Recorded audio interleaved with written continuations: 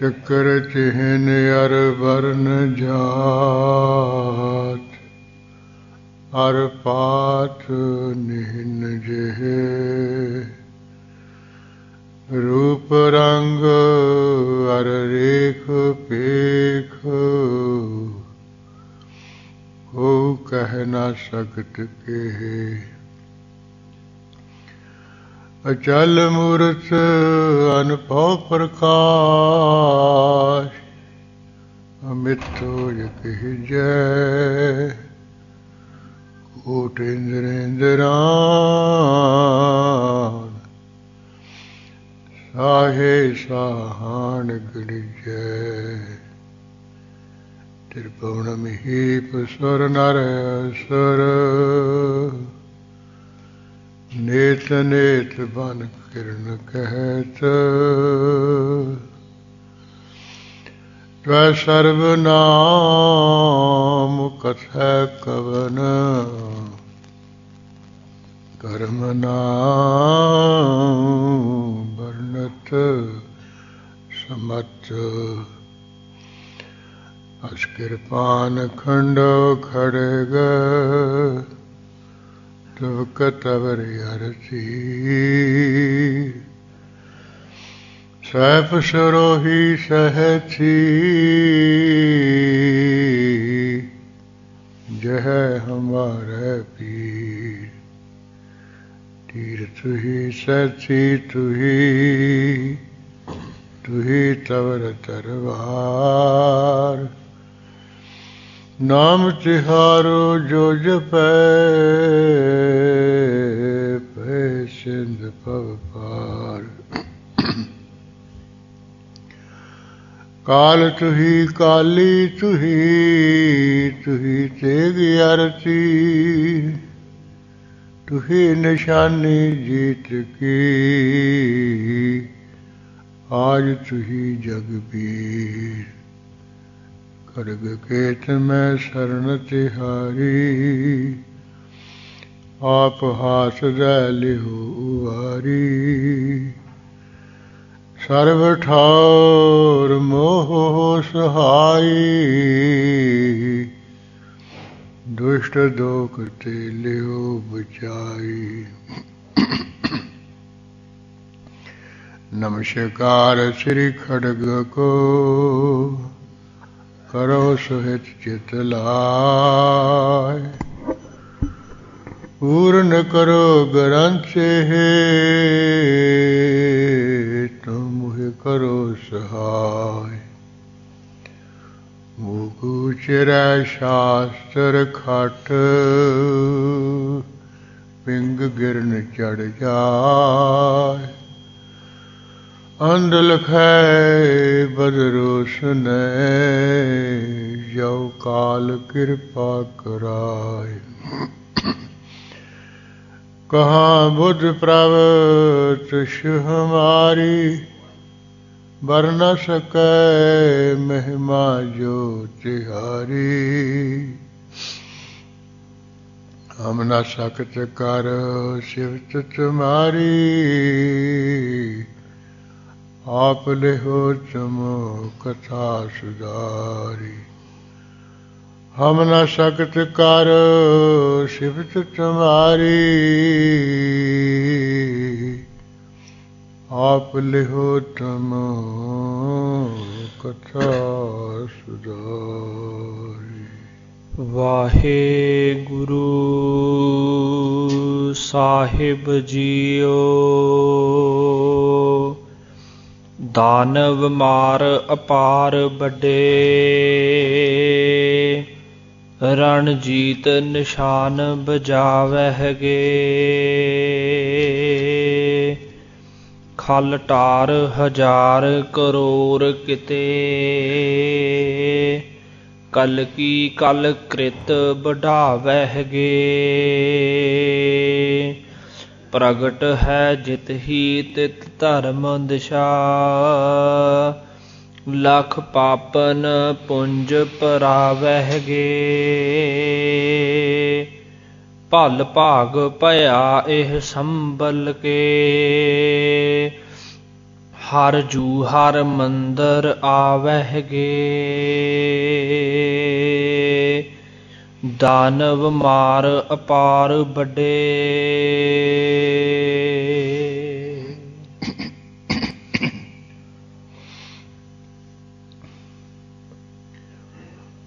ਵਾਹਿਗੁਰੂ ਜੀ ਕਾ ਖਾਲਸਾ, ਵਾਹਿਗੁਰੂ ਜੀ ਕੀ ਫਤਿਹ। ਪਰਮ ਸਤਕਾਰਯੋਗ ਗੁਰੂ ਖਾਲਸਾ ਸਾਧ ਸੰਗਤ ਜੀ। ਗੁਰੂ ਮਹਾਰਾਜ ਦੀ ਕਿਰਪਾ ਨਾਲ, ਬਖਸ਼ਿਸ਼ ਤੇ ਰਹਿਮਤ ਨਾਲ ਆਪਾਂ ਸੰਗਤ ਰੂਪ ਵਿੱਚ ਜੁੜ ਕੇ ਗੁਰੂ ਕਲਗੀਧਰ ਪਾਤਸ਼ਾਹ ਜੀ ਦੀ ਪਵਿੱਤਰ ਬਾਣੀ ਦੀ ਵਿਚਾਰ ਕਰਕੇ ਲਾਹਾ ਲੈ ਰਹੇ ਹਾਂ।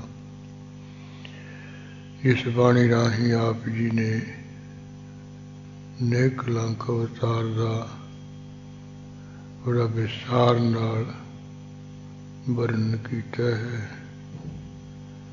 ਇਸ ਦੇ ਆਉਣ ਤੋਂ ਪਹਿਲਾਂ ਦੇ ਸਮੇਂ ਦਾ, ਘੋਰ ਕਲੂ ਦਾ ਸਮੇਂ ਦਾ ਵੀ ਵਰਣਨ ਕੀਤਾ ਹੈ। ਉਹ ਕਾਫੀ ਪ੍ਰਸੰਗ ਆਪਾਂ ਪੜ੍ਹ ਲਿਖ ਲਿਆ, ਸੁਣ ਲਿਆ ਹੈ। ਜਿਸ ਤਰ੍ਹਾਂ ਹੈ ਧਰਤੀ ਦੀ, ਸ੍ਰਿਸ਼ਟੀ ਦੀ ਦੁੱਖ ਭਰੀ ਪੁਕਾਰ ਸੁਣ ਕੇ ਕਾਲ ਪੁਰਖ ਵਾਹਿਗੁਰੂ ਨੇ ਇਹਨੂੰ ਤੀਰ ਦਿੱਤਾ। ਇਸ ਤਰ੍ਹਾਂ ਨੂੰ ਚੰਗੀ ਤਰ੍ਹਾਂ ਦੀ ਹੌਸਲਾ ਦੇ ਕੇ ਸਮਝਾ ਕੇ ਇਹ ਆਪਣੇ ਵੱਲੋਂ ਕਿਹਾ ਇਸ ਤਰ੍ਹਾਂ ਜਿਹੜਾ ਮਹਾਪੁਰਖ ਹੈ, ਜੋ ਬਿਨਾਂ ਰੋਗਾਂ ਸੋਗਾਂ ਤੋਂ ਹੈ, ਉਹ ਧਰਤੀ ਦਾ ਸਿਸ਼ਟਿਆ ਪਾਲਣ ਵਾਸਤੇ ਅਵਤਾਰ ਧਾਰਨਗੇ ਗਰੀਬਾਂ ਦੀ ਰੱਖਿਆ ਵਾਸਤੇ ਉਹ ਜਿਹੜੇ ਪਰਮ ਪੁਰਖ ਪਵਿੱਤਰ ਸਰੂਪ ਹੈ, ਉਹ ਪ੍ਰਗਟ ਹੋਣਗੇ। ਜੋ ਅਵਤਾਰਾਂ ਵਿੱਚੋਂ ਬੜੇ ਭਾਰੀ ਮਹਾਨ ਅਵਤਾਰ ਹਨ, ਉਹ ਇਹ ਦੇ ਅਖੀਰ ਦੇ ਸਮੇਂ ਤੇ ਸਰਜਗ ਦੇ ਲੱਗਣ ਤੋਂ ਦਸ ਕੁ ਹਜ਼ਾਰ ਸਮਾਂ ਪਹਿਲਾਂ ਉਹ ਪ੍ਰਗਟ ਹੋਣਗੇ। ਉਹ ਇਸ ਤਰ੍ਹਾਂ ਦੇ ਇਹ ਜਿਹੜੇ ਲਫ਼ਜ਼ ਹੈ, ਜੋ ਵਿੱਚ ਪੁਰਾਣ ਦੇ ਵਿੱਚ ਵਿਆਹ ਲਿਖੇ ਉਹਨਾਂ ਦਾ ਲੱਥਾ ਗੁਰੂ ਗੋਬਿੰਦ ਸਿੰਘ ਸਾਹਿਬ ਜੀ ਨੇ ਆਪਣੀ ਬਾਣੀ ਰਾਹੀਂ ਕੀਤਾ ਹੈ। ਜਿਸ ਤਰ੍ਹਾਂ ਇਹ ਸੰਬਲਪੁਰ ਵਿੱਚ ਜ਼ਿਆਦਾਤਰ ਤਾਂ ਵਿਦਵਾਨ ਜਿਹੜਾ ਅਮਰਦਾਬਾਦ ਹੈ। ਇਹ ਜੋ ਕਹਿੰਦੇ ਤੇਈ ਕੁ ਮੀਲ ਤੇ ਜਿਹੜਾ ਸੰਬਲਪੁਰ ਕੋਈ ਹੈਗਾ ਕਹਿੰਦੇ ਉੱਥੇ ਪ੍ਰਗਟ ਹੋਣਗੇ। ਕਈਆਂ ਦਾ ਖਿਆਲ ਹੈ ਵੀ ਇਹ ਸੰਬਲਪੁਰ ਨਹੀਂ ਹੈ। ਇਹ ਤਾਂ ਜਿਹੜਾ ਗੋਬੀ ਮੰਗੋਲੀਆ ਹੈ, ਇਹ ਤਾਂ ਪਾਸੇ ਜੇ ਇਲਾਕਾ ਹੈ। ਵੀ ਉਹ ਬੜਾ ਰੇਤਲਾ ਸਥਾਨ ਹੈ, ਬੜਾ ਦੂਰ ਤੱਕ ਹੈ। ਵੀ ਉਹਦਾ ਨਾਂ ਸੰਭਲ ਹੈ। ਇਧਰ ਨਹੀਂ ਹੈ ਭਾਰਤ ਵਿੱਚ ਉਧਰ ਹੈ। ਗੋਬੀ ਮੰਗੋਲੀਆ ਵਾਲਾ। ਜੋ ਰੇਤਲਾ ਸਥਾਨ ਹੈ, ਉਹ ਬੜਾ ਦੂਰ ਤੱਕ ਹੈ। ਰੋ ਵਿਚਾਰ ਜਾਨੀ ਉਹ ਭਾਵੇਂ ਇੱਧਰਲੇ ਸੰਭਲ ਚ ਹੋਣਾ ਭਾਵੇਂ ਉਧਰਲੇ ਹੋਣਾ ਜਾਨੀ ਹੋਣਾ ਸੰਭਲ ਚ ਹੀ ਹੈ। ਉਧਰ ਜਬ ਹੈ ਹੋ ਜਾਏ, ਇੱਧਰ ਆ ਜਾਏਗਾ, ਤਾਂ ਨਹੀਂ ਇਤਨੇ ਬਾਤੂ ਤਕਰਾਰ ਹੈ। ਉਹ ਤਾਂ ਜਦੋਂ ਹੁਣ ਪੈਦਾ ਹੋਊਗਾ ਨਾ ਉਦੋਂ ਪਤਾ ਲੱਗੂਗਾ ਵੀ ਇਹ ਮਰਾਦਾ ਵਾਲੇ, ਜਿਹੜਾ ਸਹੀ ਕਮੀਰ ਤੇ ਸੰਬਲਪੁਰ ਉੱਥੇ ਹੁੰਦਾ ਹੈ ਕਿ ਜਿਹੜਾ ਕੋ ਗੋਬੀ ਮਗੋਲ ਗਿਆ, ਵਿੱਚ ਹੈਗਾ ਸੰਭਲ, ਉਧਰ ਹੁੰਦਾ ਹੈ। ਯਾਨੀ ਉਹਨੇ ਦੁਸ਼ਟਾਂ ਦਾ ਨਾਸ ਕਰਨ ਵਾਸਤੇ ਪ੍ਰਗਟ ਹੋਣਾ ਹੈ, ਜਿਹਦਾ ਨਾਮ ਕਲਕੀ ਹੋਊਗਾ? ਤੇ ਨੈ ਕਲੰਕ ਵੀ ਪ੍ਰਸਿੱਧ ਹੋਊਗਾ ਨਾ ਇਸ ਤਰ੍ਹਾਂ ਵੀ ਉਹ ਪ੍ਰਗਟ ਹੋਣਗੇ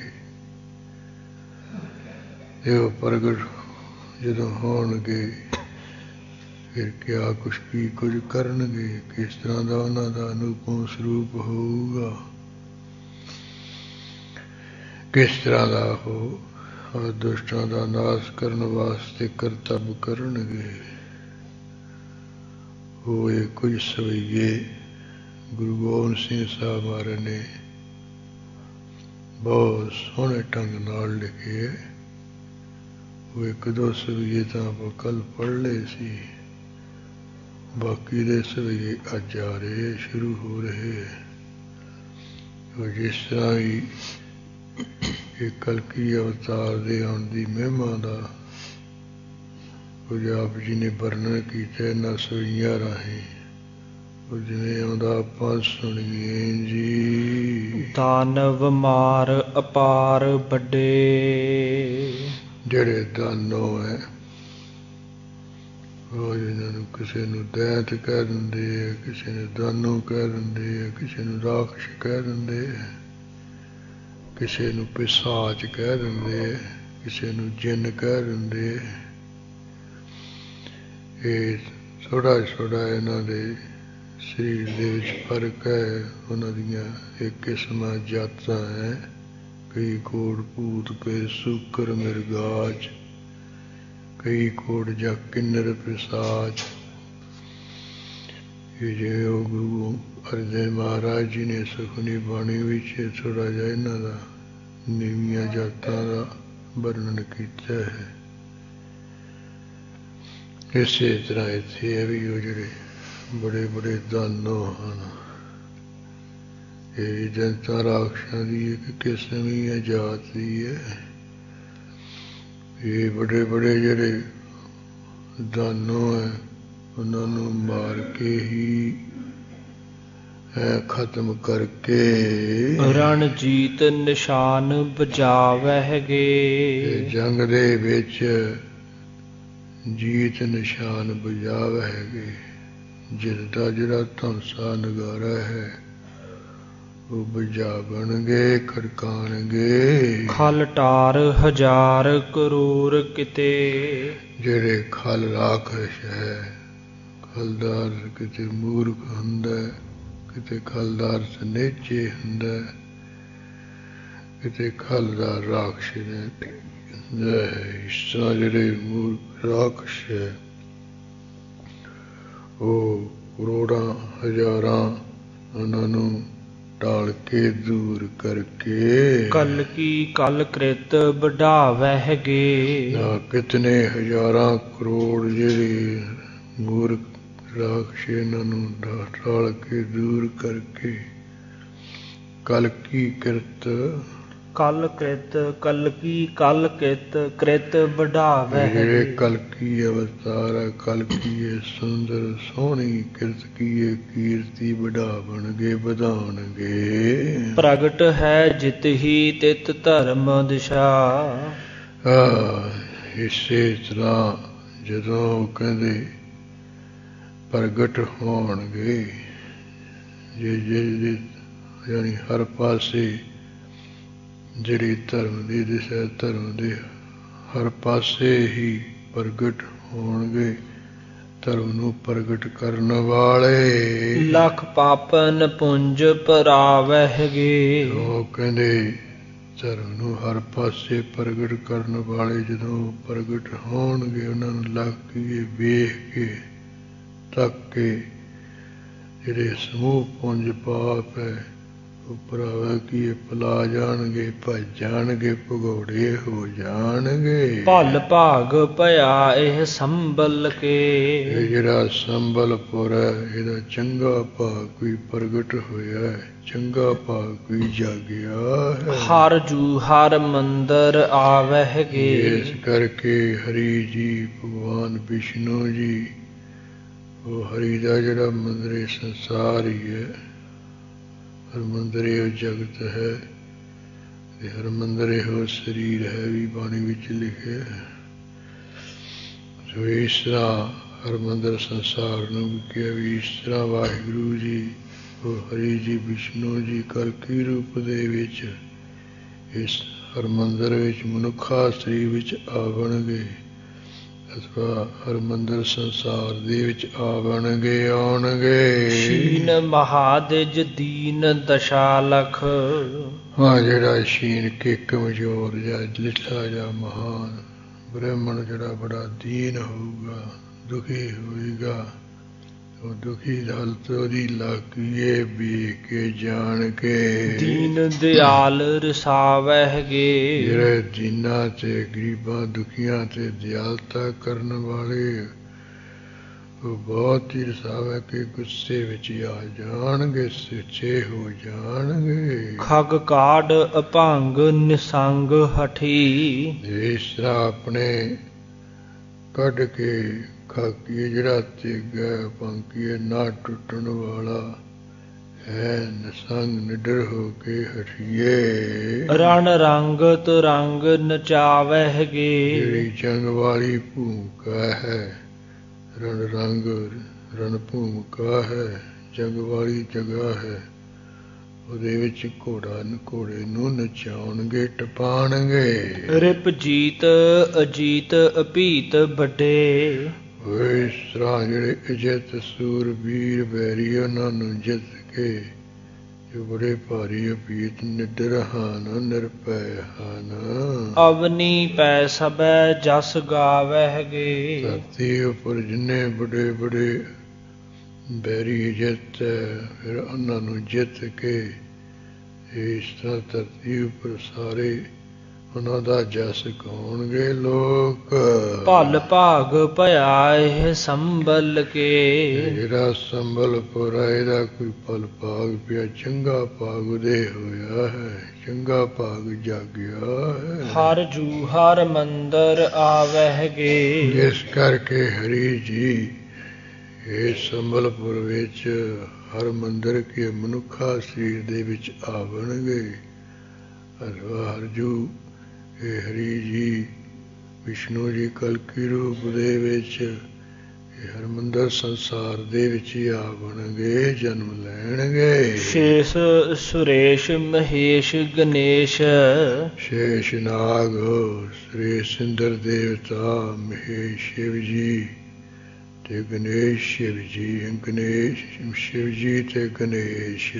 ਨਿਸ਼ੇਸ਼ ਭਲੇ ਜਸ ਗਾਵਹਿਗੇ ਆ ਚੰਦਰਮਾਲਕ ਦੇਵਤੇ ਚੰਗੀ ਤਰ੍ਹਾਂ ਇਹ ਨੇਕ ਕਲੰਕ ਦਾ ਜਸ ਗਾਵਣਗੇ। ਗਣ ਭੂਤ ਪ੍ਰੇਤ ਪਿਸਾਚ ਪਰੀ।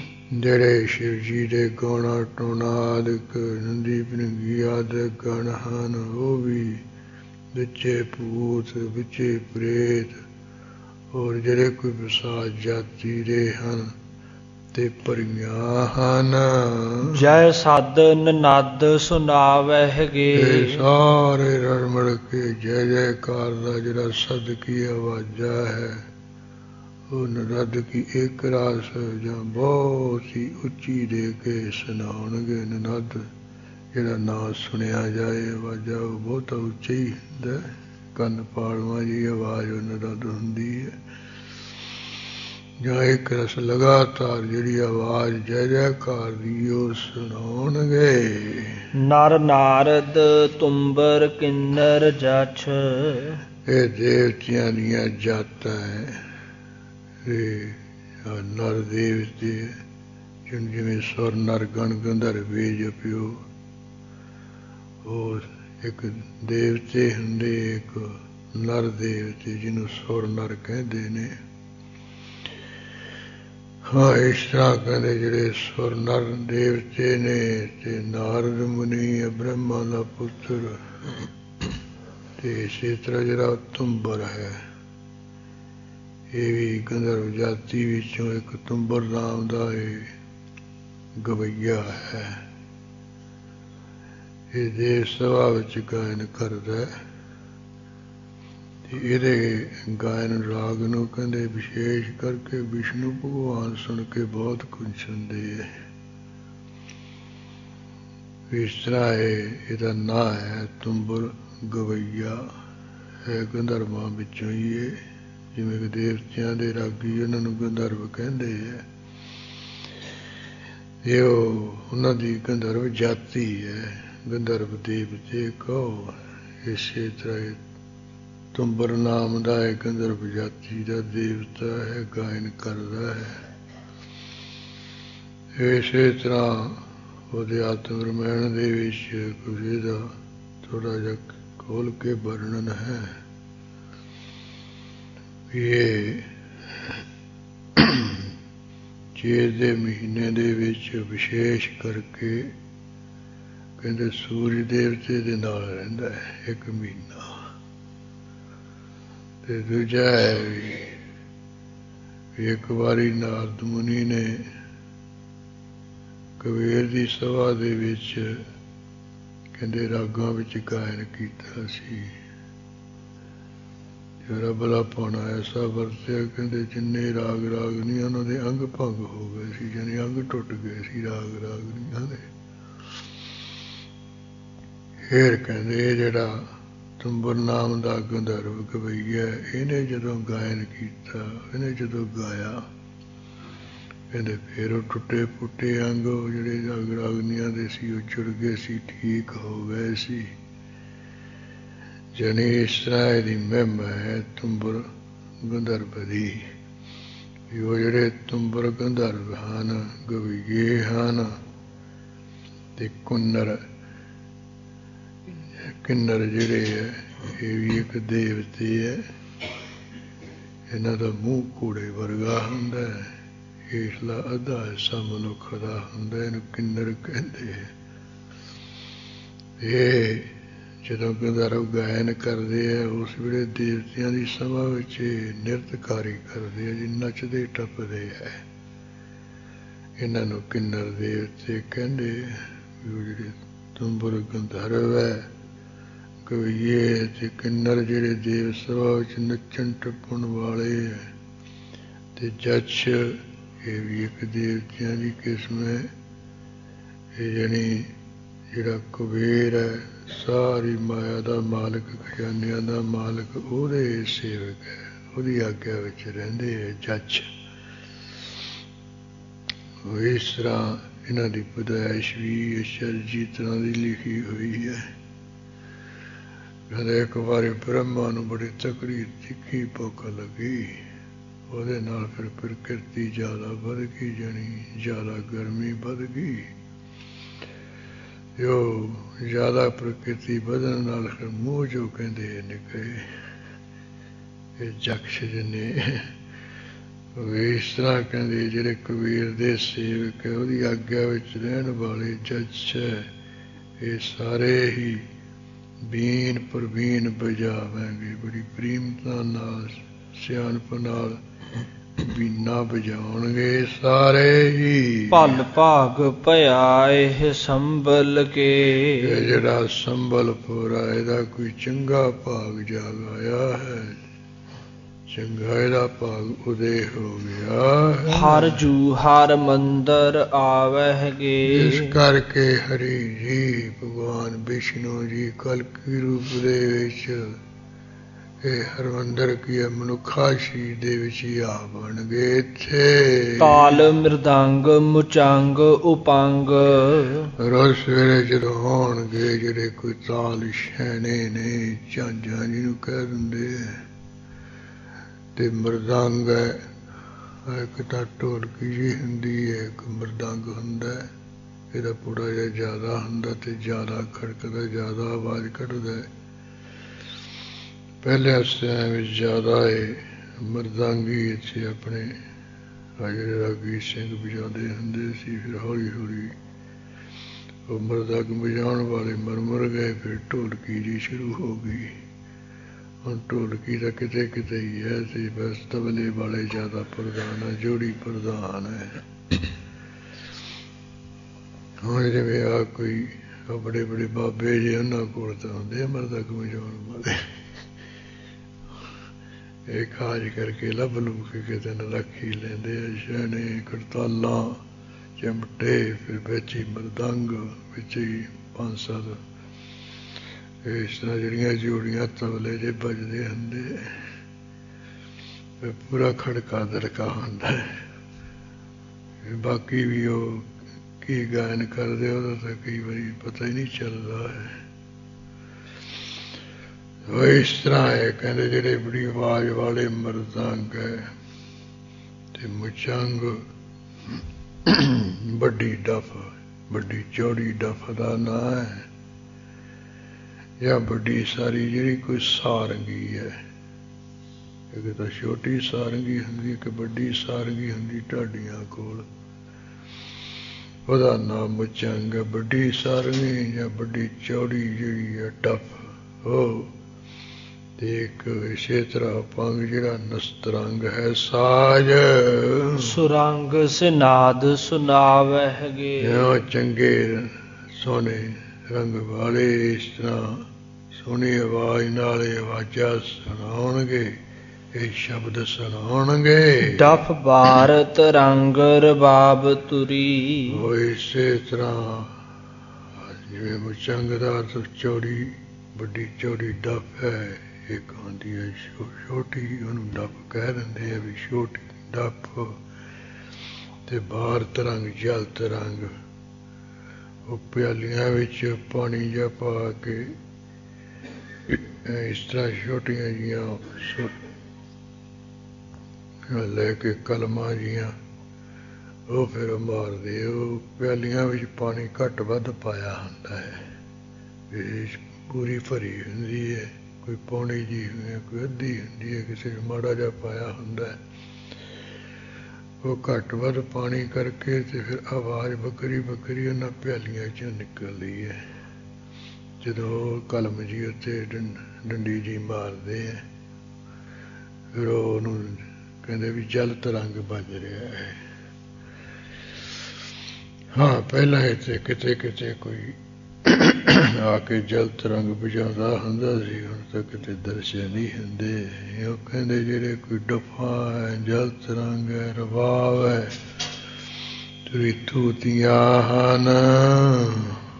ਰਣ ਸੰਖ ਅਸੰਖ ਬਜਾਵਹਿਗੇ ਹੋਰ ਰਣ ਕੀ ਰਣ ਸਿੰਘੇ ਤੇ ਸੰਖ ਬੇਅੰਤੀ ਵਜਾਉਣਗੇ ਗਣ ਦੁੰਦਬ ਢੋਲਨ ਘੋਰ ਕਨੀ ਬਹੁਤੇ ਜਿਹੜੇ ਕੋਈ ਡੁੰਦਵ ਹੈ ਵੱਡੇ ਢੋਲ ਹੈ ਤੇ ਜਿਨ੍ਹਾਂ ਦੀ ਬੜੀ ਮਹਾਨ ਆਵਾਜ਼ ਹੋਵੇਗੀ। ਸੁਨ ਸਤਰ ਸਬੈ ਮੁਰ ਛਾਵਹਿਗੇ। ਜਿਸ ਦੀ ਆਵਾਜ਼ ਨੂੰ ਸੁਣ ਕੇ ਸਾਰੇ ਜਿਹੜੇ ਕੋਈ ਪੈਰੀ ਹੈ ਉਹ ਮੂਰਛਿਤ ਹੋ ਜਾਣਗੇ ਬੇਹੋਸ਼ ਹੋ ਜਾਣਗੇ। ਭਲ ਭਾਗ ਭਇਆ ਇਹ ਸੰਭਲ ਕੇ। ਜਿਹੜਾ ਸੰਬਲਪੁਰ ਹੈ ਇਹਦਾ ਕੋਈ ਚੰਗੇ ਭਾ ਚੰਗਾ ਭਾਗ ਪ੍ਰਗਟ ਹੋਇਆ ਹੈ ਚੰਗਾ ਭਾਗ ਜਾਗਿਆ। ਹਰ ਜੂ ਹਰ ਮੰਦਰ ਇਸ ਆਵਹਿਗੇ ਕਰਕੇ ਸੰਬਲਪੁਰ ਦੇ ਵਿੱਚ ਹਰੀ ਜੀ ਮਨੁੱਖਾ ਸ਼ੀਰ ਦੇ ਵਿੱਚ ਆ ਜਾਣਗੇ ਆਉਣਗੇ। ਤੀਰ ਤਫੰਗ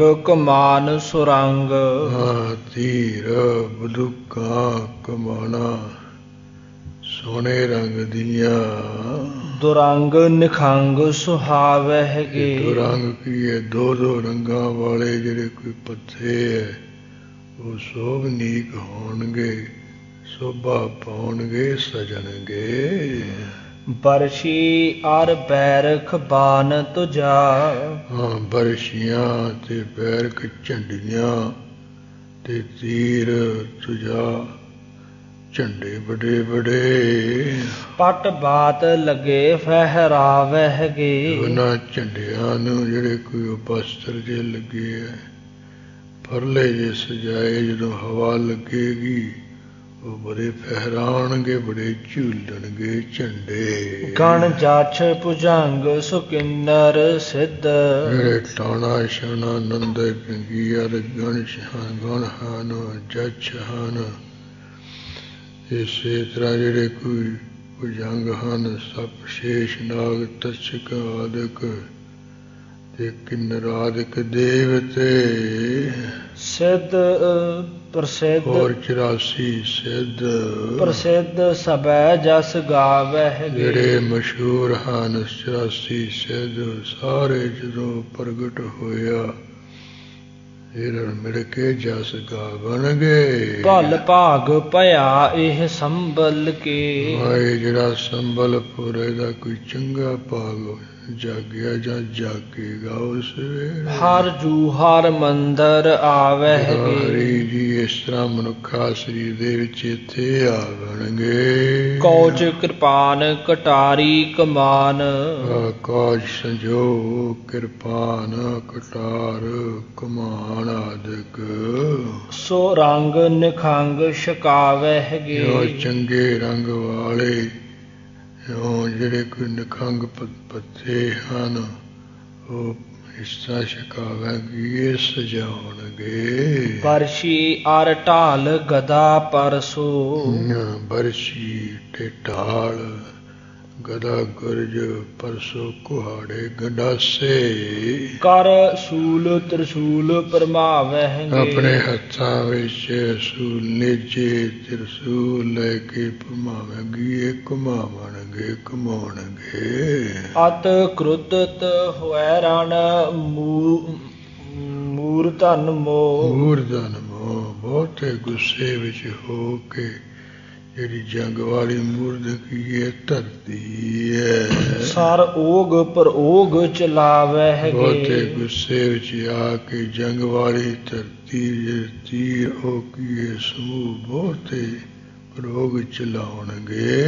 ਭਲ ਭਾਗ ਭਇਆ ਇਹ ਸੰਭਲ ਕੇ। ਜਿਹੜਾ ਸੰਬਲਪੁਰ ਹੈ ਦਾ ਕੋਈ ਚੰਗਾ ਭਾਗ ਉਦੇ ਹੋ ਗਿਆ ਤੇ ਹੋਵੇਗਾ ਉਸ ਵੇਲੇ। ਹਰ ਜੂ ਹਰ ਮੰਦਰ ਆਵਹਿਗੇ ਹਰੀ ਜੀ ਇਹ ਮਨੁੱਖਾ ਸ਼੍ਰੀ ਵਿੱਚ ਆਉਣਗੇ ਜਾਂ ਇਹ ਹਰਮੰਦਰ ਸੰਸਾਰ ਦੇ ਵਿੱਚ ਆ ਬਣਗੇ ਤੇਜ ਪ੍ਰਚੰਡ ਅਖੰਡ ਮਹਾ। ਹਾਂ ਜਿਨ੍ਹਾਂ ਦਾ ਜਿਹੜਾ ਤੇਜ ਪ੍ਰਤਾਪ ਪ੍ਰਚੰਡ ਬੜਾ ਤਿੱਖਾ ਤਰਾਰਾ ਤੇ ਇੱਕ ਰਸ ਮਹਾਨ ਹੋਵੇਗਾ। ਸਭ ਦੁਜਨ ਦੇਖ ਪਰਾਵਹਿਗੇ ਜਿਨ੍ਹਾਂ ਦੀ ਛਵੀ ਨੂੰ ਦੇਖ ਕੇ ਸੁੰਦਰਤਾ ਨੂੰ ਦੇਖ ਕੇ ਖੋਟੇ ਪੁਰਸ਼ ਭਲਾ ਜਾਣਗੇ ਭਜ ਜਾਣਗੇ। ਜਿਮ ਪੌਨ ਪ੍ਰਚੰਡ ਬਹਿ ਪਤੂਆ। ਜਿਸ ਤਰ੍ਹਾਂ ਤਿੱਖੀ ਹਵਾ ਦੇ ਚੱਲਣ ਕਰਕੇ ਜਿਹੜੇ ਪਤੂਆ ਕੇ ਬਿਰਸ਼ਾਂ ਦੇ ਪੱਤਰ ਬਹਿ ਜਾਂਦੇ ਉੱਡ ਜਾਂਦੇ ਹਨ। ਸਭ ਆਪਨ ਹੀ ਉੱਡ ਜਾਵਹਿਗੇ। ਇਸੇ ਤਰ੍ਹਾਂ ਜਿਹੜੇ ਪਾਪੀ ਦੁਸ਼ਟ ਭੜੇ ਲੋਕ ਬਿਰਸ਼ ਦੇ ਪੱਤਰਿਆਂ ਵਾਂਗੀ ਆਪੇ ਸਾਰੇ ਉੱਡ ਪੁੱਡ ਜਾਣਗੇ। ਵੱਡ ਹੈ ਜਿਤ ਹੀ ਤਿਤ ਧਰਮ ਦਸ਼ਾ। ਜਦੋਂ ਹਰੀ ਜੀ ਕਲਕੀ ਰੂਪ ਦੇ ਵਿੱਚ ਆਏ ਜਿਸ ਤਰਫ ਹਰ ਤਰਫ ਜਿਹੜਾ ਧਰਮ ਹੈ ਉਹ ਵਧੇਗਾ। ਕਹੂੰ ਪਾਪ ਨ ਢੂੰਡਤ ਪਾਵਹਿਗੇ ਕਿਸੇ ਪਾਸੇ ਜਿਹੜੇ ਪਾਪ ਹੈ ਉਹ ਤਾਂ ਲੱਭਿਆ ਨਹੀਂ ਪਾਏ ਜਾਣਗੇ। ਪਾਪਾਂ ਦੀ ਕੋਈ ਕਨਸੋ ਨਹੀਂ ਲੱਗੇਗੀ ਵੀ ਕਿੱਥੇ ਹੁਣ ਪਾਪ ਰਹਿ ਰਹੇ ਹਨ। ਭਲ ਭਾਗ ਭਇਆ ਇਹ ਸੰਭਲ ਕੇ। ਜਿਹੜਾ ਸੰਬਲਪੁਰੇ ਦਾ ਕੋਈ ਚੰਗੇ ਭਾਗ ਉਹਦੇ ਹੋਇਆ ਜਾਗਿਆ ਹੈ। ਹਰ ਜੂ ਹਰ ਮੰਦਰ ਇਹ ਆਵਹਿਗੇ ਜਿਹੜੇ ਹਰੀ ਜੀ ਹੈ ਉਹ ਮਨੁੱਖਾ ਸ਼੍ਰੀ ਵਿੱਚ ਇੱਥੇ ਚੱਲ ਕੇ ਆਉਣਗੇ। ਛੂਟਤ ਪਾਨ ਕਮਾਨਨ ਕੇਰਣ। ਆ ਜੰਗ ਦੇ ਵਿੱਚ ਜਿਹੜੇ ਕਮਾਣਾ ਦੇ ਵਿੱਚੋਂ ਤੀਰ ਚੱਲਣਗੇ। ਛਾੜ ਪਟਵਾ ਪਹਿਰਾਵਹਿਗੇ ਤੇ ਰਣ ਛਾੜ ਸ਼ੂਟ ਜ਼ਬਾਨ ਕਮਾਨਨ ਕੇ। ਰਣ ਛਾੜ ਪਟਵਾ ਪਹਿਰਾਵੇਂਗੇ ਤੀਰਾਂ ਕਮਾਣਾ ਵਿੱਚੋਂ ਤੀਰ ਚੱਲਣੇ ਕਰਕੇ ਜੰਗ ਨੂੰ ਛੱਡ ਕੇ ਜਿਹੜੇ ਸੂਰਬੀਰ ਹੈ ਪਹਿਰਾਵਾ ਕੀ ਇੱਕ ਡਰਪੋਕ ਹੋ ਕੇ ਭੱਜ ਜਾਣਗੇ? ਗਨ ਵੀਰ ਬਿਤਾਲ ਕਰਾਲ ਪ੍ਰਭਾ। ਜਿਹੜੇ ਬਹੁਤੇ ਸੂਰਬੀਰ ਹੈ ਜਾਂ ਗਣ ਹਨ 52 ਵੀਰ ਹਨ ਹੋਰ ਜਿਹੜੇ ਕੋਈ ਬਿਤਾਲ ਹਨ ਇਹ ਵੀ ਇਹ ਜਿਵੇਂ ਆ ਦੇਵ ਦਾਨਤ ਹੈ ਰਾਖਸ਼ ਹੈ ਉਹਨਾਂ ਦੇ ਵਿੱਚ ਇੱਕ ਕਿਸ ਬਿਤਾਲਾਂ ਦੀ ਇਹ ਵੀ ਬੇਨਤੀ ਹਨ ਤੇ ਬੜੇ ਭਿਆਨਕ। ਰਨ ਮੂਰਦਨ ਮਦ ਸੁਹਾਵਹਿਗੇ ਆ ਜੰਗ ਵਾਲੀ ਮੂਰਦਨੀ ਧਰਤੀ ਦੇ ਵਿੱਚ ਸੋਭਨੀਕ ਹੋਣਗੇ ਬੜੀ ਸ਼ੋਭਾ ਸਹਿਤ। ਗਨ ਸਿੱਧ ਪ੍ਰਸਿੱਧ ਸਮਰਿੱਧ ਸਨੈ। ਜਿਹੜੇ ਗਣ ਹਨ ਤੇ ਹੋਰ 84 ਸਿੱਧ ਹਨ ਐ ਬੜੇ ਪ੍ਰਸਿੱਧ ਮਸ਼ਹੂਰ। ਉਹ ਸਿਮਰਤ ਕੀ ਆਪੋ ਆਪਣੀ ਜਿਹੜੀ ਸਮਗਰੀ ਹੈ ਉਹਦੇ ਸਮੇਤ ਸਨਾ ਸਮੇਤ ਨਾਲ। ਕਰ ਉਚਾਇਕ ਕ੍ਰਿਤ ਸੁਨਾਵਹਿਗੇ। ਆਪਣਾ ਜਿਹੜਾ ਕਰਕੇ ਹੱਥ ਚਾਹੇ ਕਿ ਤਾਂ ਨੂੰ ਚੁੱਕ ਚੁੱਕ ਕੇ ਉਹਨੇ ਕਲੰਕ ਦੀ ਕੀਰਤੀ ਸੁਣਾਵਣਗੇ। ਭਲ ਭਾਗ ਭਇਆ ਇਹ ਸੰਬਲ ਕੇ। ਇਹ ਜਿਹੜਾ ਸੰਬਲਪੁਰ ਸ਼ਹਿਰ ਹੈ ਦਾ ਚੰਗਾ ਕੋਈ ਭਾਗ ਦੇ ਹੋਇਆ ਹੈ ਜਾਗਿਆ। ਹਰ ਜੂ ਹਰ ਮੰਦਰ ਆਵਹਿਗੇ ਕੇਸ ਦੇ ਵਿੱਚ ਹਰੀ ਜੀ ਮਨੁੱਖਾ ਸਰੀਰ ਵਿੱਚ ਆਉਣਗੇ ਜਾਂ ਹਰੀ ਜੀ ਇਸ ਸੰਸਾਰ ਦੇ ਵਿੱਚ ਇੱਥੇ ਆਉਣਗੇ। ਰੂਪ ਵਨੂਪ ਸਰੂਪ ਮਹਾ। ਜਿਨ੍ਹਾਂ ਦਾ ਜਿਹੜਾ ਸਰੂਪ ਹੈ ਬੜਾ ਅਨੁਪਮ ਰੂਪ ਵਾਲਾ ਹੋਵੇਗਾ ਮਹਾਨ। ਅੰਗ ਦੇਖ ਅਨੰਗ ਲਜਾਵਹਿਗੇ ਜਿਨ੍ਹਾਂ ਦੇ ਸਰੀਰ ਦੇ ਅੰਗਾਂ ਪ੍ਰਤੰਗਾਂ ਨੂੰ ਦੇਖ ਕੇ ਜਿਹੜਾ ਕਾਮਦੇਵ ਹੈ ਉਹ ਵੀ ਨਾ ਕਾਮਦੇਵ ਆਦਿਕ ਵੀ ਸਾਰੇ ਸ਼ਰਮਸ਼ਾਰ ਹੋ ਜਾਣਗੇ ਲੱਜਿਆ ਵਾਣੇ ਹੋਣਗੇ। ਭਵ ਭੂਤ ਭਵਿਖ ਭਵਾਨ ਸਦਾ। ਸੰਸਾਰ ਦੇ ਵਿੱਚ ਪਿਛਲੇ ਸਮੇਂ ਵਿੱਚ ਆਉਣ ਵਾਲੇ ਸਮੇਂ ਵਿੱਚ ਤੇ ਭਗਵਾਨ ਵਰਤਮਾਨ ਸਮੇਂ ਵਿੱਚ। ਸਭ ਠੌਰ ਸਬੈ ਠਹਿਰਾਵਹਿਗੇ। ਸਾਰੀਆਂ ਸਭਾ ਦੇ ਥਾਵਾਂ ਦੇ ਵਿੱਚ ਕਹਿੰਦੇ ਆਪਣਾ ਜਸ ਟਿਕਾਉਣਗੇ ਜਸ ਸਥਿਤ ਕਰਨਗੇ। ਭਵ ਭਾਰ ਅਪਾਰ ਨਿਵਾਰਨ ਕੋ। ਧਰਤੀ ਦਾ ਬੇਅੰਤ ਬੇਅੰਤ ਜਿਹੜਾ ਸੰਸਾਰ ਦੇ ਵਿੱਚੋਂ ਭਾਰਨ ਵਰਨ ਵਾਸਤੇ। ਕਲ ਕੀ ਅਵਤਾਰ ਕਹਾਵਹਿਗੇ ਜਿਹੜੇ ਵਿਸ਼ਨੂੰ ਜੀ ਆਪਣਾ ਨਾਮ ਕਲਕੀ ਅਵਤਾਰ ਕਹਾਵਣਗੇ। ਭਲ ਭਾਗ ਭਇਆ ਇਹ ਸੰਭਲ ਕੇ। ਜਿਹੜਾ ਸੰਬਲਪੁਰ ਦਾ ਚੰਗਾ ਭਾਗ ਦੇ ਹੋਇਆ ਸਵੇਰੇ ਫਿਰ ਉਹ ਜਾਗੇਗਾ। ਹਰ ਜੂ ਹਰ ਮੰਦਰ ਆਵਹਿਗੇ। ਹਰੀ ਜੀ ਇਸ ਤਰ੍ਹਾਂ ਮਨੁੱਖਾ ਸ਼ਰੀਰ ਦੇ ਸਭ ਤੋਂ ਪਹਿਲਾਂ ਇਹ ਸੰਬਲਪੁਰ ਵਿੱਚ ਹੀ ਆਵਣਗੇ। ਭੂਮੁਖ ਭਾਰ ਉਤਾਰ ਵੱਡੇ। ਇਸ ਤਰ੍ਹਾਂ ਧਰਤੀ ਦਾ ਪਾਪਾਂ ਦਾ ਭਾਰ ਉਤਾਰ ਕੇ ਬਹਾਨ। ਵੱਡ ਆਛ ਵੱਡੀ ਸ਼ਬ ਪਾਵਹਿਗੇ ਵੱਡੀਆਂ ਅੱਖਾਂ ਵਾਲੇ ਕਲਕੀ ਦੀ ਬੜੀ ਤਕੜੀ ਛਵੀ ਸੁੰਦਰਤਾ ਸ਼ੋਭਾ ਪਾਵਣਗੇ ਖਲ ਟਾਰ ਜੁਝਾਰ ਬਰਿਆਰ ਹਠੀ। ਜੋ ਬੜੇ ਬਰਿਆਰ ਬਲ ਵਾਲੇ ਜੂਝਣ ਵਾਲੇ ਮੂਰਖਾਂ ਨੂੰ ਢਾਲ ਕੇ। ਹਟੀਏ ਦੇ ਕਲੰਕ ਘਨ ਕੋਖਨ ਜੋ ਕਹਿ ਰਾਵਹਿਗੇ ਜਿਵੇਂ ਬੱਦਲ ਕੋਖਣ ਕੀਏ ਗੱਜਦੇ ਹੁੰਦੇ ਆ ਇਸ ਤਰ੍ਹਾਂ ਬਦਲਾ ਵਾਂਗੂ ਕਹਿਰਾਵਣਗੇ ਉਹ ਗਰਜਣਗੇ ਗੱਜਣਗੇ ਕਲ ਨਾਰਦ ਭੂਤ ਪਿਸਾਚ ਪਰੀ। ਜਿਹੜੀ ਕਲਹ ਹੈ ਕ- ਨਾਰਦ ਦੇ ਘਰ ਵਾਲੀ ਤੇ ਜਿਹੜਾ ਨਾਰਦ ਹੈ ਉਹਦਾ ਮਾਲਕ ਹੋਰ ਜੇ ਭੂਤ ਹੈ ਤੇ ਪਿਸਾਚ ਹੈ ਤੇ ਪਰੀਆਂ ਹਨ। ਜੈ ਪੱਤਰ ਤਰਤਰ ਸੁਨਾਵਹਿਗੇ ਇਹ ਧਰਤੀ ਤੇ ਆ ਕੇ ਜੈਤ ਪੱਤਰ ਜਿਹੜਾ ਹੈ ਫਤਿਹ ਨਾਵਾ ਹੈ ਉਹ ਕਹਿੰਦੇ ਸੁਣਾਉਣਗੇ। ਤਰਤਰ। ਤਰਤਰ ਧਰਤੀ ਦੇ ਭਲ ਭਾਗ ਭਇਆ ਇਹ ਸੰਭਲ ਕੇ। ਆਏ ਜਿਹੜਾ ਸੰਬਲਪੁਰ ਹੈ ਬੜਾ ਭਾਗ ਉਹਦਾ ਕਹਿੰਦੇ ਹੋਏ ਹੋਵੇਗਾ ਜਾਗੇਗਾ ਹਰ ਜੂ ਹਰ ਮੰਦਰ ਹਰੀ ਆਵਹਿਗੇ ਜੀ ਇਸ ਤਰ੍ਹਾਂ ਮਨੁੱਖਾ ਸ਼ਰੀਰ ਦੇ ਵਿੱਚ ਇੱਥੇ ਆ ਕੇ ਪ੍ਰਗਟ ਹੋਣਗੇ। ਝਾਰ ਕਿਰਪਾਨ ਜੁਝਾਰ ਵੱਡੇ। ਹਾਂ ਚਾਰ ਬਹੁਤੇ ਚਾਰ ਨੂੰ ਬਾਰ ਦਾ ਵੀ ਹੁੰਦਾ ਚਾਰ ਨੂੰ ਸਮੂਹ ਬਹੁਤਿਆਂ ਦਾ ਹੁੰਦਾ। ਬਹੁਤੇ ਜਿਹੜੇ ਕਿਰਪਾਨਾਂ ਦੇ ਵਿਵਾਰ ਜਿਹੜੇ ਬਾਰ ਹਨ ਉਹਦੇ ਨਾਲ ਲੜਦੇ ਹੋਏ ਜੂਝਦੇ ਜੰਗ ਕਰਦੇ ਹੋਏ।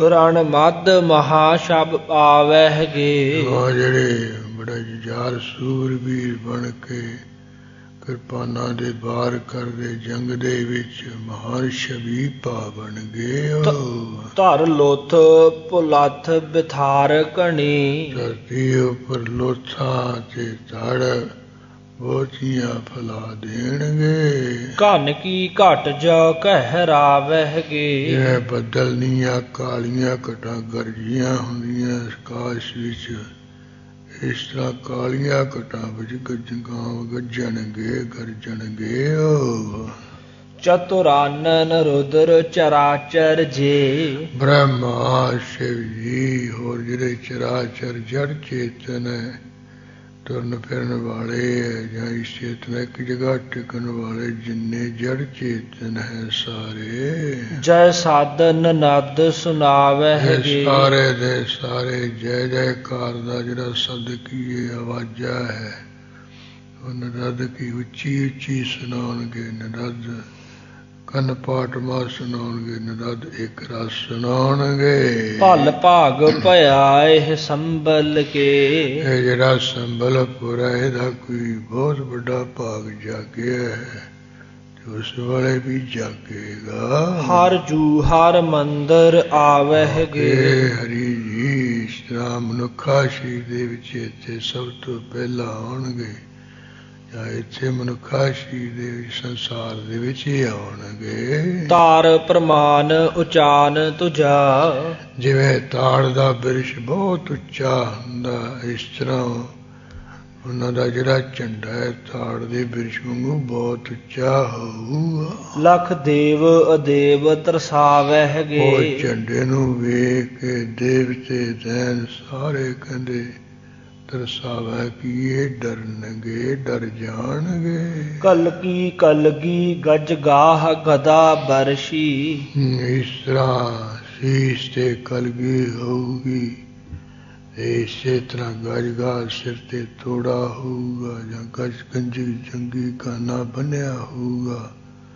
ਹੱਥ ਵਿੱਚ ਗਰਾ ਤੇ ਬਰਸ਼ੀ ਹੋਊਗੀ। ਗਹਿ ਪਾਨ ਕਿਰਪਾਨ ਪਰਮਾਵਹਿ ਗੇ ਇਸ ਰਾਤ ਵਿੱਚ ਬਰਸ਼ੀ ਗਦਾ ਕਿਰਪਾਨ ਇਹ ਫੜ ਕੇ ਬਾਰੀ ਬਾਰੀ ਇਹਨਾਂ ਨੂੰ ਘਮਾਉਣਗੇ ਫੇਰਨਗੇ। ਸਿਰ ਤੇ ਕਲਗੀ ਹੋਊਗੀ। ਇਸੇ ਤਰ੍ਹਾਂ ਉਹ ਸਿਰ ਤੇ ਤੋੜਾ ਹੋਊਗਾ। ਜੰਗ ਜਗ ਪਾਪ ਸੰਭੂਹ ਬਿਨਾਸਨ ਕੋ ਜਿਵੇਂ ਉਹ ਜੰਜੀਰ ਜੀ ਬੰਨੀ ਹੁੰਦੀ ਹੈ ਨਾ ਲੋਹੇ ਦੀ ਉਹਨੂੰ ਤੋੜਾ ਕਹਿੰਦੇ ਨੇ। ਕਲਗੀ ਜਗ ਜਗ ਪਾਪ ਸੰਭੂਹ ਬਿਨਾਸਨ ਕੋ। ਸੰਸਾਰ ਦੇ ਵਿੱਚ ਸਾਰੇ ਪਾਪਾਂ ਦਾ ਨਾਸ਼ ਕਰਨ ਵਾਸਤੇ। ਕਲ ਕੀ ਕਲ ਧਰਮ ਚਲਾਵਹਿ ਜਿਹੜੇ ਗੇ। ਕਲ ਕੀ ਅਵਤਾਰ ਕਲ ਕੀ ਸੁੰਦਰ ਧਰਮ ਨੂੰ ਚਲਾਵਣਗੇ ਭਲ ਭਾਗ ਭਇਆ ਇਹ ਸੰਭਲ ਕੇ। ਇਹ ਜਿਹੜਾ ਸੰਬਲਪੁਰੇ ਦਾ ਕੋਈ ਚੰਗਾ ਭਾਗ ਕਹਿੰਦੇ ਜਾਗਿਆ ਹੈ। ਹਰ ਜੂ ਹਰ ਮੰਦਰ ਆਵਹਿ ਕਿਉਂਕਿ ਗੇ। ਹਰੀ ਜੀ ਇਸ ਤਰ੍ਹਾਂ ਮਨੁੱਖਾ ਸਰੀਰ ਦੇ ਵਿੱਚ ਇੱਥੇ ਆਉਣਗੇ ਕਲਕੀ ਰੂਪ ਦੇ ਵਿੱਚ? ਪਾਨ ਕਿਰਪਾਨ ਅਜਾਨ ਪੁਜਾ। ਹੱਥ ਵਿੱਚ ਇਹਨਾਂ ਦੇ ਕਿਰਪਾਨ ਹੋਊਗੀ ਇਹ ਜਾਨ ਪੂਜਾ ਗੋਡੀਆਂ ਤੱਕ ਲੰਮੀਆਂ ਬਾਹਾਂ ਹੋਣਗੀਆਂ। ਰਣ ਰੂਪ ਮਹਾਨ ਦਿਖਾਵਹਿ ਉਹ ਗੇ ਜੰਗ ਦੇ ਵਿੱਚ ਆਪਣਾ ਜਿਹੜਾ ਮਹਾਨ ਸਰੂਪ ਆ ਉਹ ਦਿਖਾਵਣਗੇ ਸਭ ਨੂੰ। ਪ੍ਰਿਤ ਮਾਨ ਸੁਜਾਨ ਅਪਰਮਾਨ ਪ੍ਰਭਾ। ਹਾਂ ਪਿਰਤਮਾਨ ਕੀ ਸੋਹਣੇ ਸਰੀਰ ਵਾਲੇ ਹੋਣਗੇ। ਸੁਗੜ ਸਜਾਨ ਤੇ ਮਿੰਤੀ ਤੋਂ ਰਹਿਤ ਅੰਦਾਜ਼ੇ ਤੋਂ ਰਹਿਤ ਸੁਭਾ ਵਾਲੇ ਹੋਣਗੇ। ਲਖ ਵਿਓਮ ਵਿਵਾਨ ਲਜਾਵਹਿ ਗੇ ਉਹਨਾਂ ਦੀ ਪ੍ਰਭਾ ਸੋਭਾ ਨੂੰ ਲਖ ਵੇਖ ਵੇਖ ਕੇ ਜਿਹੜੇ ਆਕਾਸ਼ ਦੇ ਵਿੱਚ ਬਾਣਾ ਵਿੱਚ ਹਨ ਹਨ ਦੇਵਤੇ ਉਹ ਸਾਰੇ ਲਜਿਆਵਾਨ ਹੋ ਗਏ ਨੇ ਸ਼ਰਮ ਦਿੱਤ ਹੋ ਜਾਣਗੇ। ਗਣ ਭੂਤ ਪਿਸਾਚ ਪ੍ਰੇਤ ਪਰੀ। ਹਾਂ ਬਹੁਤ ਤੇ ਗਣ ਭੂਤ ਤੇ ਪਿਸਾਚ ਤੇ ਪ੍ਰੇਤ ਤੇ ਪਰਿਆਦਕ। ਮਿਲ ਜੀਤ ਕੇ ਗੀਤ ਗਵਾਵਹਿ ਇਹ ਗੇ ਸਾਰੇ ਮਿਲ ਕੇ ਕਹਿੰਦੇ ਜਿੱਤ ਦੇ ਜਿਹੜੇ ਗੀਤ ਹੈ ਉਹ ਹੁਣ ਇਹਨਾਂ ਤੋਂ ਗਵਾਵਣਗੇ ਕਲ ਕੀ ਅਵਤਾਰ? ਭਲ ਭਾਗ ਭਇਆ ਇਹ ਸੰਭਲ ਕੇ। ਹਾਂ ਇਹ ਜਿਹੜਾ ਸੰਗਲਪੁਰ ਹੈ ਇਹਦਾ ਕੋਈ ਚੰਗਾ ਭਾਗ ਉਹਦੇ ਹੋਇਆ। ਹਰ ਜੂ ਹਰ ਮੰਦਰ ਆਵਹਿ ਕਿਉਂਕਿ ਗੇ ਹਰੀ ਜੀ ਕਲ ਕੀ ਰੂਪ ਦੇ ਵਿੱਚ ਮਨੁੱਖਾ ਸ਼ੀਵੀ ਸਭ ਤੋਂ ਪਹਿਲਾਂ ਇੱਥੇ ਆਉਣਗੇ ਇੱਥੇ ਪ੍ਰਗਟ ਹੋਣਗੇ। ਬਾਜਤ ਡੰਕ ਅਤੰਕ ਸਮੈ। ਜਦੋਂ ਡਰ ਦਾ ਸਮਾਂ ਹੁੰਦਾ ਹੈ, ਅਤੰਕ ਦਾ ਸਮਾਂ ਹੁੰਦਾ ਪਰਲੋਂ ਦਾ ਸਮਾਂ ਸਭ ਤੋਂ ਵੱਡਾ ਡਰ ਦਾ ਸਮਾਂ ਹੁੰਦਾ ਜਦੋਂ ਸਾਰਿਆਂ ਦਾ। ਜਦੋਂ ਇਹ ਪਰਲੋਂ ਦੇ ਸਮੇਂ ਡੰਕਾ ਵੱਜੇਗਾ ਰਣ ਰੰਗ ਤੁਰੰਗ ਨਚਾਵਹਿਗੇ ਜਿਹੜਾ ਪਰਲੋਂ ਦੇ ਸਮੇਂ ਡੰਕਾ ਵੱਜਦਾ ਹੁੰਦਾ ਕਾਲ ਜੰਗ ਦੇ ਵਿੱਚ ਘੋੜਾ ਨਚਾਉਣਗੇ ਕਸ ਬਾਨ ਕਮਾਨ ਗਦਾ ਬਰਸ਼ੀ। ਹੈ ਕਿਚ ਕੇ ਤੀਸ ਕਮਾਨ ਤੇ ਗਲਾ ਤੇ ਬਰਸ਼ੀ ਆਦਕ। ਕਰ ਸੂਲ ਤ੍ਰਿਸੂਲ ਪਰਮਾਵਹਿਗੇ ਆਪਣੇ ਹੱਥ ਵਿੱਚ ਸੂਲ ਨੇਚਿਆ ਹੋਰ ਜਿਹੜਾ ਤਰਸੂਲ ਹੈ ਉਹਨੂੰ ਚੰਗੀ ਤਰ੍ਹਾਂ ਕਮ ਪਰਮਾਉਣਗੇ ਕਮਾਉਣਗੇ ਫੇਰਨਗੇ। ਗਣ ਦੇਵ ਅਦੇਵ ਪਿਸਾਚ ਪਰੀ। ਜਿੰਨੇ 52 ਗਣ ਹਨ 33 ਕਰੋੜ ਦੇਵਤੇ ਹੈ 45 ਕਰੋੜ ਦੈਂਤ ਹੈ ਪਿਸਾਚ ਹੈ। ਹੋਰ ਜਿਹੜੀਆਂ ਦੇਵ ਪਰੀਆਂ। ਰਣ ਦੇਵ ਸਬੈ ਰਹਿ ਸਾਵਹਿਗੇ ਆ ਕਲਕੀ ਦਾ ਜੰਗ ਦੇ ਰੂਪ ਕੇ ਸਾਰੇ ਰਹਿਸਾਵਾਂ ਕੀ ਆਨੰਦ ਪ੍ਰਸੰਦ ਹੋਣਗੇ? ਭਲ ਭਾਗ ਭਇਆ ਇਹ ਸੰਬਲ ਕੇ। ਇਹ ਜਿਹੜਾ ਸੰਬਲਪੁਰ ਹੈ ਦਾ ਕੋਈ ਜੰਗਾ ਭਾਗ ਜਾਗਿਆ ਹੈ ਜਾਂ ਉਸ ਵੇਲੇ ਜਾਗੇਗਾ? ਹਰ ਜੂ ਹਰ ਮੰਦਰ ਆਵਹਿਗੇ। ਜਦੋਂ ਹਰੀ ਜੀ ਭਗਵਾਨ ਵਿਸ਼ਨੂੰ ਜੀ ਇਹ ਹਰਮੰਦਰ ਵਿੱਚ ਮਨੁੱਖਾ ਸ਼ੀ ਵਿਸ਼ੇ ਆਵਣਗੇ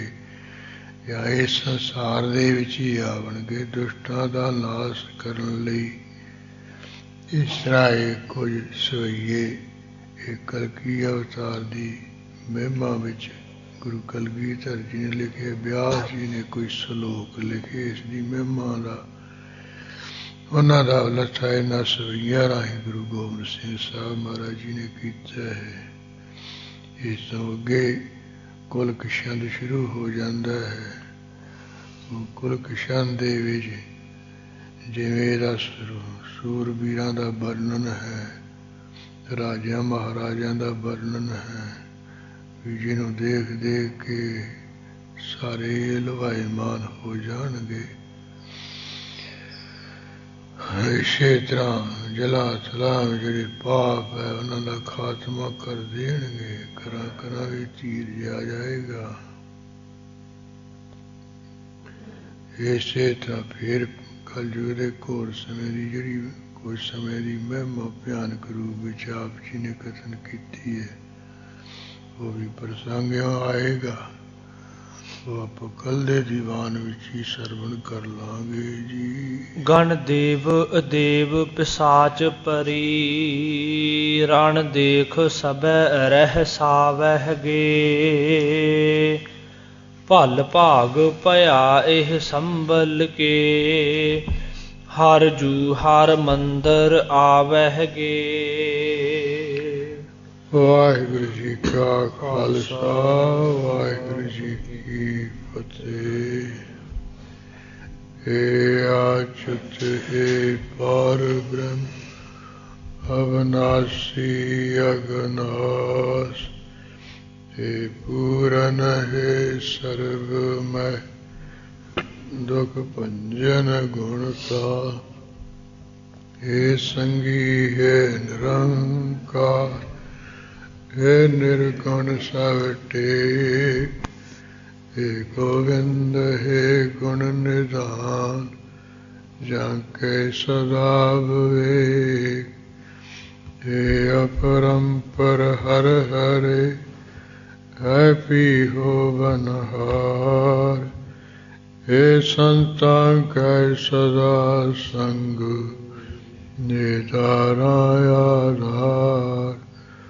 ਸੰਗ ਨਿਦਾਰਾ ਆਧਾਰ ਏ ਠਾਕੁਰ ਹਾਂ ਦਾਸਰੋ, ਮੈਂ ਨਿਰਗੁਣ ਗੁਣ ਨਹੀਂ ਕੋਈ ਨਾਨਕ ਦੀਜੈ ਨਾਮ ਦਾਨ ਰਖੋ ਹੈ ਪਰੋ ਆਏ ਪ੍ਰਭ ਸ਼ਰਨਾਗਤੀ, ਕਿਰਪਾ ਨਿਧ ਦਿਆਲ ਏਕ ਅੱਖਰ ਹਰ ਮਨ ਵਸਤ ਨਾਨਕ ਹੋਤ ਨਿਹਾਲ ਵਾਹਿਗੁਰੂ ਨਾਮ ਜਹਾਜ ਹੈ, ਚੜੇ ਸੋ ਤਰੇ ਪਾਰ।